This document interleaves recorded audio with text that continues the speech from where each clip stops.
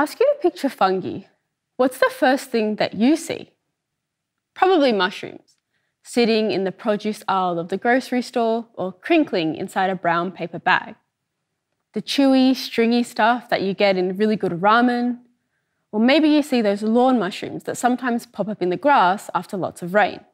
Maybe you get a glimpse of the mold that's grown on those veggies you swore that you were going to cook dinner with two, no, three weeks ago.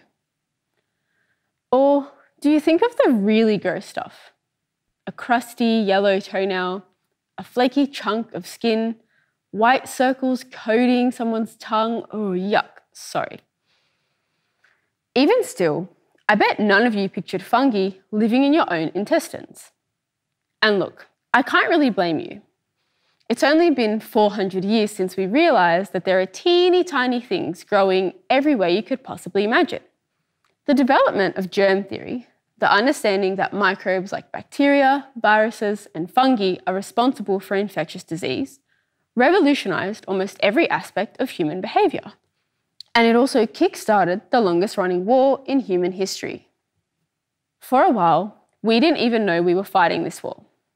In fact, if the existence of the Earth was condensed to just 24 hours, microbes have been battling it out from about 4 am and humans have just shown up with less than two minutes to midnight.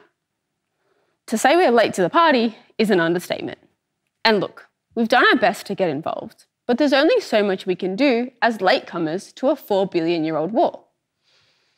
At first, we blamed disease on anything that we could think of, from the wrath of various vengeful deities to a misalignment of the planets to breathing in bad airs.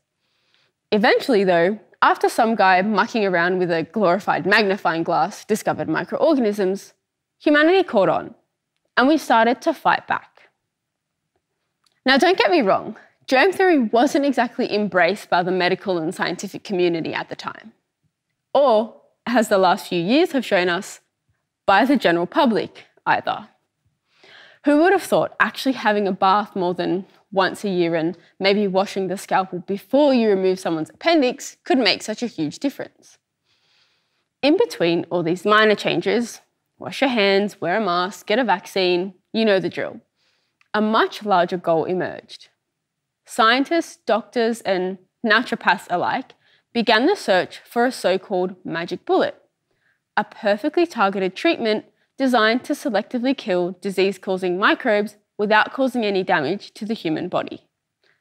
Most people tend to forget that the first antibiotic, designed to kill bacteria, originally came from a fungus. Millions of years of evolutionary battle between microbes had given us an ideal solution. So when penicillin was discovered, isolated, and purified, its use became widespread to treat diseases caused by bacteria. This was the golden age of antibiotics and now we've got nearly 200 different antibacterial drugs at our disposal. Fungi, however, put up a bit more of a fight. It took almost 30 years longer than it did for bacteria, but eventually we developed the first antifungal drug. Unfortunately, we haven't actually made a whole lot of progress since then. We're still waiting for the golden age of antifungals. Quite literally, I can count on one hand the different types of antifungal drug that are currently on the market. It's five. So why is developing antifungal drugs such a challenge? Well, because fungal cells are so similar to human cells, anything that's toxic to fungi is likely to be toxic to humans too. Drug development is incredibly expensive and time consuming, and resistance to antimicrobial drugs complicates things even further. We might have won the battle, but we are definitely losing the war.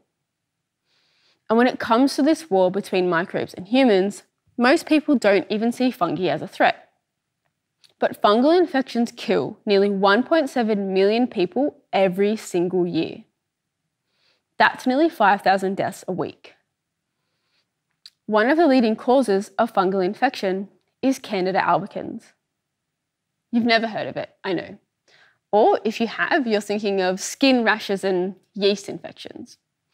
But it couldn't happen to you, right?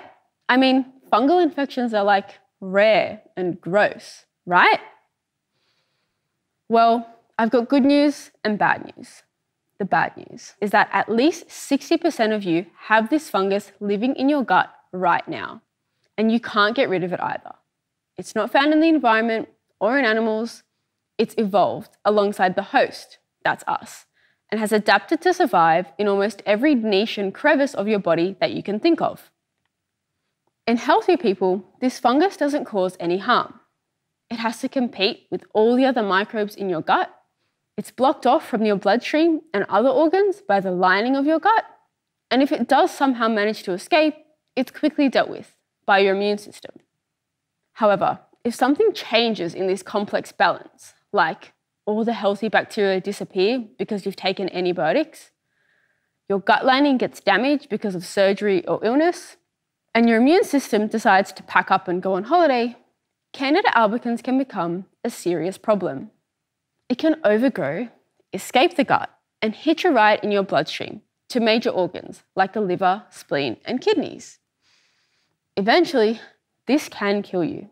And in most cases, these infections are caused by the Candida albicans already living inside your gut. Now, look, I'm not trying to scare you, I promise.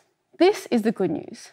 These infections only affect people who are already seriously ill and immunocompromised. Candida albicans isn't out to get you.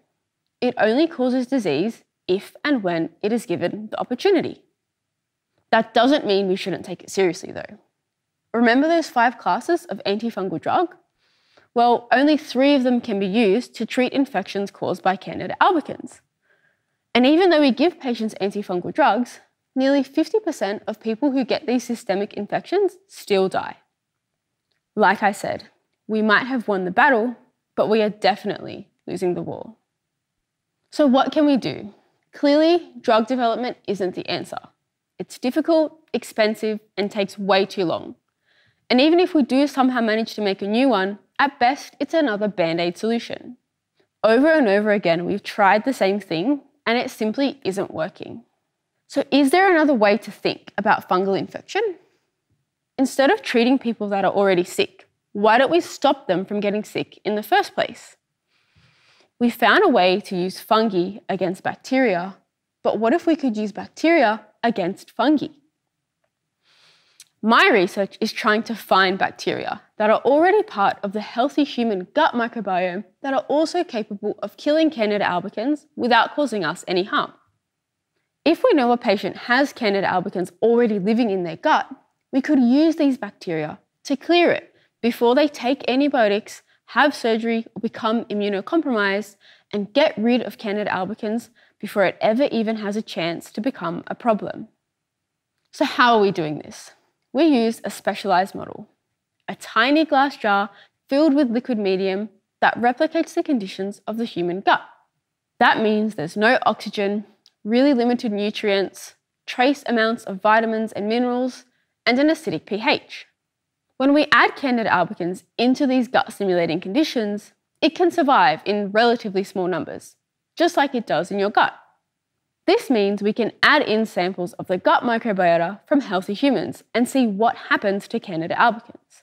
And what we've seen so far is pretty exciting.